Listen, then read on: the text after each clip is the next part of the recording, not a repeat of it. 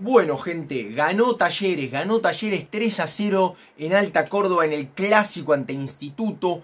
Un partido que tiene un resultado un tanto mentiroso, porque en el desarrollo fue bastante parejo. Lindo partido en Alta Córdoba, lindo clásico cordobés de domingo por la tarde. Arrancó fuerte Instituto, pero la más clara había sido de Talleres, de un córner mal tirado de la Gloria, contragolpe y llegó justo Cerato a trabarlo Michael Santos en la contra de otro córner mal tirado de Instituto, otra contra de Talleres que termina en córner de la T, que lo tira excelente Garro para que Catalán entre solo, solo en el medio del área de Instituto, cabeció muy bien, sin marca, para poner el 1 a 0 a favor de Talleres en el comienzo del partido que parecía que iba a ser muy intenso, con muchas jugadas de gol, de ida y vuelta. No fue tan así. La diferencia estuvo en esos corners donde Instituto los tiró mal, Talleres los tiró bien y se puso 1 a 0 en ventaja. A partir de ahí el partido se hizo cada vez más trabado, Talleres si bien este, tenía menos la pelota, cuando la tenía te daba una sensación de crear más peligro que Instituto que intentaba, tenía buen dominio de pelota, pero definía en general mal en los últimos en el último tercio de la cancha, porque tampoco es que generaba situaciones claras de gol. Este, después, a ver, se, hizo un poco más cortado, tuvimos algún que otro encontronazo por un par, de faltas reiteradas de Mosevich, que fue amonestado. Para mí, después tuvo otra con Michael Santos, que algunos pedían la segunda amarilla. Para mí no, pero igualmente había argumentos para sacarle la segunda amarilla este, si Telo así lo hubiese querido. Infantil me parece, porque estando amonestado con el costado, ir así con el brazo, medio al pedo. Igualmente eso generó que se den un par de, encontronazos ahí, unas discusiones que hicieron que el partido perdiera bastante, bastante ritmo a lo largo del primer tiempo.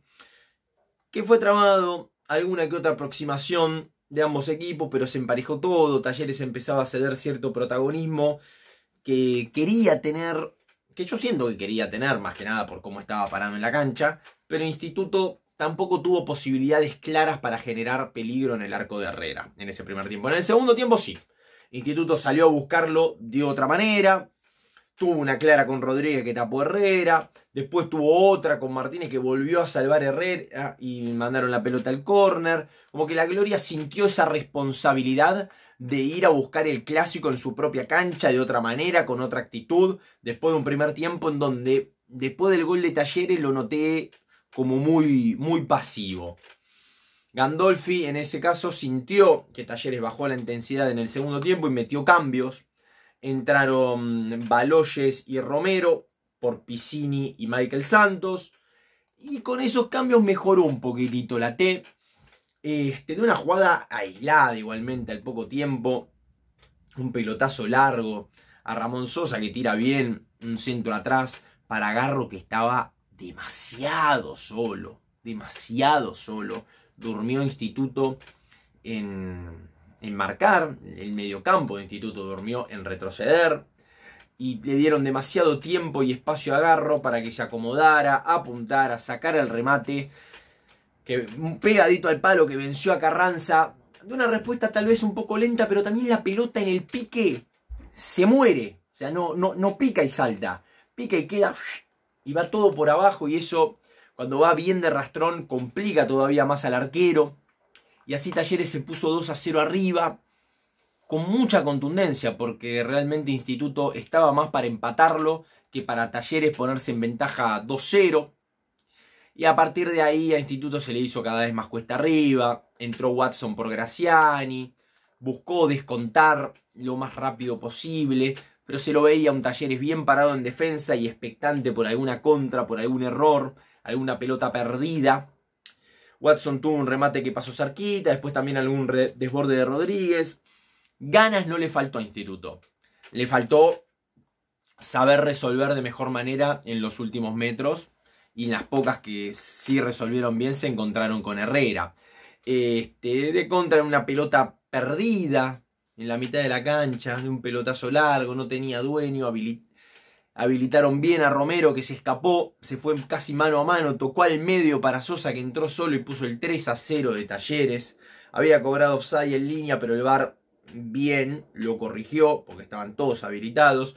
Y un 3 a 0 que se justificaba principalmente por la contundencia que tuvo Talleres y por la falta de definición de instituto. Por el buen laburo también que hizo Herrera en el arco y un equipo de Gandolfi que supo aprovechar sus buenos momentos en el partido, porque desde el juego en ningún momento hubo tres goles de diferencia entre un equipo y el otro. Pero el fútbol tiene estas cosas y así después de muchísimo tiempo Instituto perdía en Alta Córdoba. En la última Carranza inclusive le tapó una muy buena pelota a Baloyes que evitó el 4 a 0. Pero terminó siendo un partido que después del 2 a 0 la situación se empezó a desnaturalizar.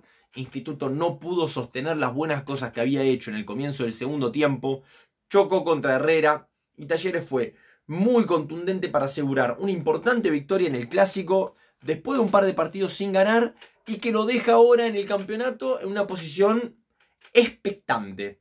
Expectante porque está a 5 puntos de River, porque se recupera de esa racha de dos derrotas de local, inclusive con Vélez y con Banfield, y ese empate con Defensa y Justicia.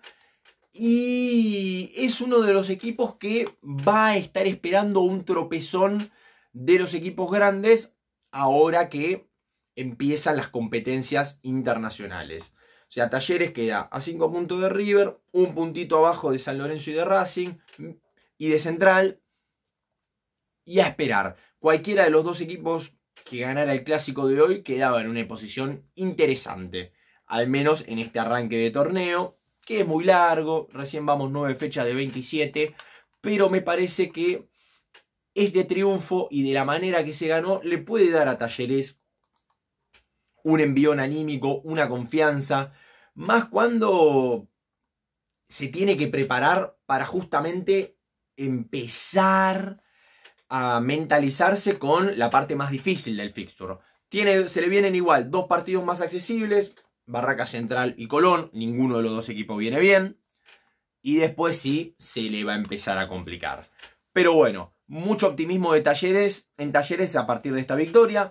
En instituto me parece que no es una derrota que te haga replantearte cosas. Me parece que fue una derrota donde pequeñas distracciones que hay que corregir, que Catalán entre tan solo después de un corner, hay que corregirlo, que Garro quede tan solo a 25 metros del arco, hay que corregirlo. Pero después el tema de la contundencia, Instituto generó las chances de gol. Después o Herrera o la mala resolución al final impidieron que la Gloria al menos logre el empate cuando tuvo las posibilidades para hacerlo. Habrá que esperar, me parece que hay tiempo para recuperarse. La campaña de instituto con Bobaglio al frente hasta ahora es bastante buena. Este, y a partir de ahí construir y seguir progresando en el torneo. Dos equipos cordobeses se enfrentaron en este clásico. Los dos andan bien. Con esta victoria Talleres queda en una mejor posición expectante en el torneo. Pero tendrá que ver este, cómo, sí, cómo, primero reincorpora a todos los jugadores, varios jugadores lesionados que todavía, que todavía tiene Talleres. Habrá que esperar si puede aprovechar que solo tiene competencia en el campeonato local, porque Gandolfi realmente, más allá de esa dura derrota en Copa Argentina contra Patronato, ha hecho que Talleres tenga una idea de juego, se recupere, esté bien, y me parece que eso es lo más destacable. Como siempre digo, si les gusta este contenido, suscríbanse, denle like, comenten qué les pareció el partido, cómo lo vieron a Talleres, cómo lo vieron a Instituto. Si ven que Talleres puede llegar a meterse en la conversación por el torneo. Yo creo que tendrían que aflojar bastante tanto River, Racing y San Lorenzo para empezar, para que Talleres pueda meterse, porque no lo veo con un rendimiento tan alto, pero puede levantar. Me parece que los próximos partidos serán claves para eso. ¿Cómo lo ven a Instituto? Que si bien hoy perdió, me parece que eh, inclusive tanto Instituto como Belgrano están medio parejitos en cómo se han adaptado a la primera división, los dos equipos de buena manera, de hecho, si bien los promedios eh, tienen vaivenes porque dividen distinto, están bien posicionados. Los leo, debatimos en los comentarios y como siempre digo, muchísimas gracias y hasta la próxima.